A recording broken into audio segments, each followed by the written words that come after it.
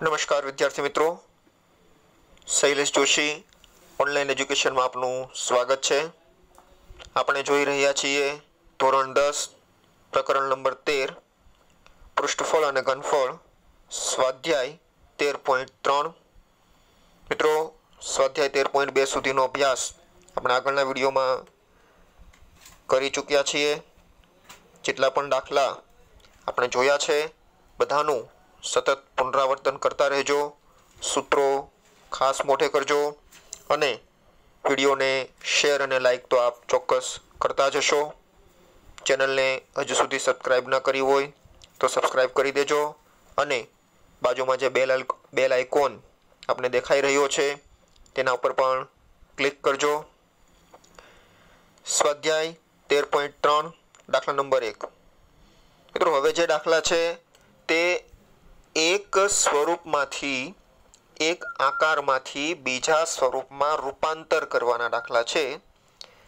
તો જોઈએ, ચાર પોઈન્ટ બે સેમી ત્રિજ્યાવાળા ધાતુના ગોલકને ઓગાળીને છ સેમી ત્રિજ્યાવાળા નળાકાર સ્વરૂપમાં રૂપાંતરિત કરવામાં આવે છે. તો નળાકારની ઊંચાઈ શોધો. આપણી પાસે એક ધાતુનો ગોલક છે, એને ઓગાળી નાખવાનો છે અને છ સેમી ત્રિજ્યાવાળો નળાકાર બનાવવાનો છે. તો નળાકારની ઊંચાઈ મેળવવાની કીધી છે. એક સિમ્પલ વસ્તુ છે કે ધાતુના ગોલકને આપણે ઓગાળી અને નળાકાર બનાવીએ. તો ધાતુના ગોલકને ઓગાળવાથી આપણને જે દળ મળશે, જે રસ મળશે એ કોના જેટલો હશે? એના ઘનફળ જેટલો હશે. અને એ જ રસમાંથી, એ જ દળમાંથી આપણે નળાકાર બનાવવાનું છે. તો નળાકારનું ઘનફળ પણ એ રસ જેટલું જ હશે. એટલે એનો મતલબ કે ધાતુના ગોલકનું ઘનફળ અને નળાકારનું ઘનફળ બંને કેવા થશે? સરખા થશે. તો જ્યારે પણ આવા રૂપાંતર કરવાના દાખલા તમને પૂછાય, એટલે સામ સામે બંનેના ઘનફળની આપણે સરખામણી કરવાની રહેશે. સૌપ્રથમ આપણને જે માપ આપ્યા છે તે લખી લઈએ. ધાતુના ગોલક માટે ત્રિજ્યા.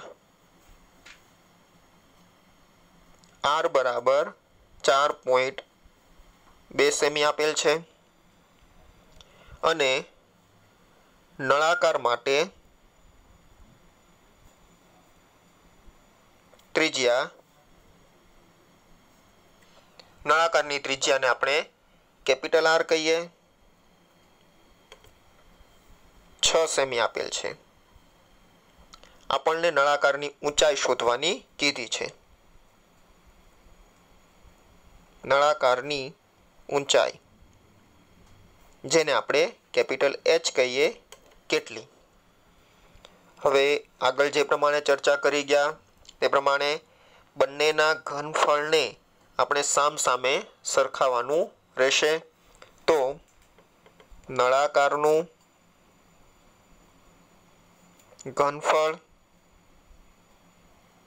કોના જેટલું હશે, ધાતુના ગોલકના ઘનફળ જેટલું.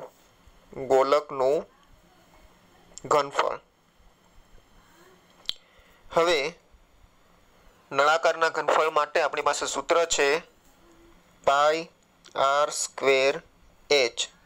તેવી જ રીતે, ધાતુના ગોલક માટે ચાર તૃતીયાંશ પાય આરનો ઘન.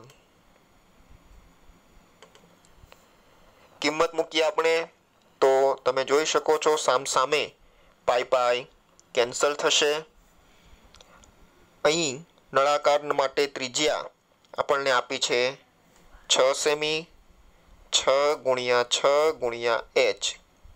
ચાર તૃતીયાંશ પાઈ કેન્સલ થઈ ગયો છે. ગોલક માટે ત્રિજ્યા આપણને ચાર પોઈન્ટ બે આપી છે. તેને આપણે બેતાલીસના છેદમાં દસ, બેતાલીસ, દસ બેતાલીસના છેદમાં દસ. ઘન છે એટલે ત્રણ વખત. હવે જો આપણે એચ મેળવવો હોય તો આ જે છ ગુણ્યા છ છે, એ આ બાજુ લઈ જવા પડે. અહીંયા આવશે એટલે ભાગાકારમાં જશે. તો એચ બરાબર ચાર ગુણ્યા બેતાલીસ ગુણ્યા બેતાલીસ ગુણ્યા બેતાલીસ છેદમાં ત્રણ ગુણ્યા દસ ગુણ્યા દસ ગુણ્યા દસ. અને મિત્રો આ જે છ ગુણ્યા છ ગુણાકારમાં છે, એ અહીંયા ભાંગાકારમાં આવશે છ ગુણ્યા છ. તો તમે ધ્યાનથી જુઓ, તો અહીં આપણે છેદ ઉડાડી શકીએ છીએ. તો છ સત્તા બેતાલીસ, છ સત્તા બેતાલીસ, ચૌદ તેરી બેતાલીસ. તો હવે આપણી પાસે વધે છે ચાર ગુણ્યા ચૌદ. ગુણ્યા સાત ગુણ્યા સાત. તો આ બધાનો આપણે ગુણાકાર કરીએ તો આપણને ગુણાકાર મળશે સત્યાવીસો ચુમ્માલીસ. છેદમાં તમે જુઓ તો દસ ગુણ્યા દસ ગુણ્યા દસ. એટલે મળશે હજાર. તો ત્રણ પોઈન્ટ કાપીએ તો બે પોઈન્ટ સાતસો ચુમ્માલીસ આ આપણને એચ મળે છે. હવે બે પોઈન્ટ સાતસો ચુમ્માલીસને આપણે બે પોઈન્ટ ચુમ્મોતેર પણ લખી શકીએ. તો જે નળાકાર બનશે, તે નળાકારની ઊંચાઈ આપણને બે પોઈન્ટ ચુમ્મોતેર સેમી પ્રાપ્ત થશે. બીજો દાખલો, સેમ આની જેમ જ છે. અહીં છ સેમી, આઠ સેમી અને દસ સેમી. ત્રિજ્યાવાળા ધાતુના ગોળાઓને ઓગાળવાના છે, ત્રણ ગોલકને ઓગાળવાના છે અને આ ત્રણ ગોલકને ઓગાળીને એક મોટો ગોળો બનાવવાનો છે, તો મોટા ગોળાનું ત્રિજ્યા મેળવવાની કહી છે. સેમ વસ્તુ, આ ત્રણ ગોલકને ઓગાળી અને આપણે એક મોટો ગોલક બનાવીએ, તો બંનેના ઘનફળ સરખા થશે. એટલે સામ સામે બંનેના ઘનફળની આપણે સરખામણી કરવાની રહેશે. એ પહેલાં જે માપ આપણને આપેલા છે તે જોઈ લઈએ કે જે ઓગાળવામાં આવેલા ત્રણ ગોળાની ત્રિજ્યા. ઓગાળવામાં આવેલા ત્રણ ગોલકની ત્રિજ્યા. આપણે એને આર વન આર ટુ અને આર થ્રી કહીએ, આ રીતે આપણને ત્રણ ગોલક આપેલા છે. હવે એ ત્રણેય ગોલકને ભેગા કરી અને એક મોટો ગોલક બનાવવાનો છે, તો જે પરિણામી ગોલક મળશે આપણને. પરિણામી ગોલકની ત્રિજ્યા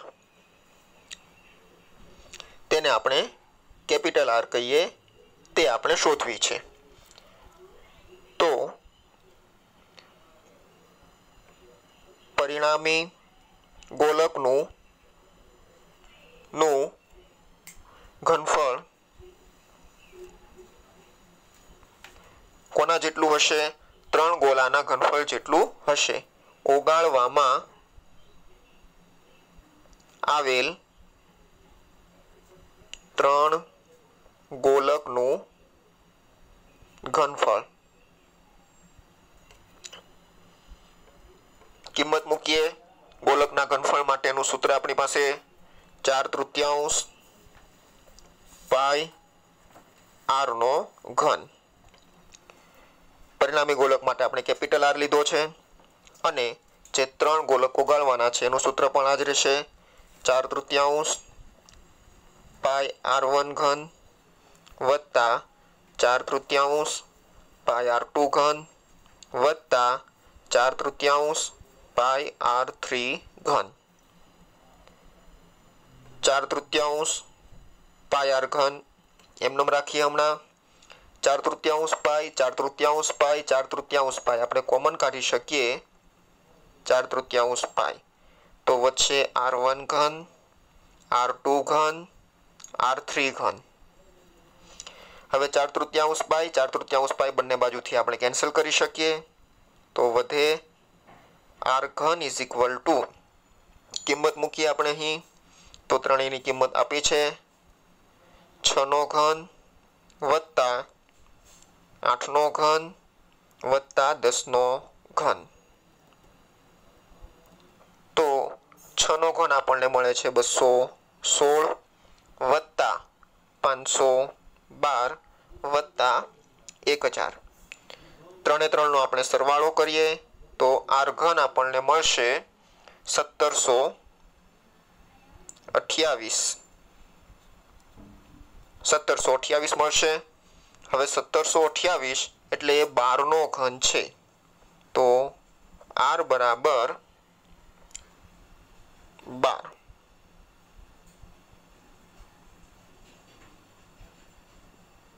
તો જે પરિણામી ગોળક છે, એની ત્રિજ્યા આપણને આર બરાબર બાર સેમી મળે છે. તો આજે આ બે દાખલા સુધી રાખીએ. વીડિયો આપણને કેવો લાગ્યો, તે કોમેન્ટ બોક્સમાં ચોક્કસ કોમેન્ટ લખીને જણાવજો. લોકડાઉનનો સમય ચાલી રહ્યો છે.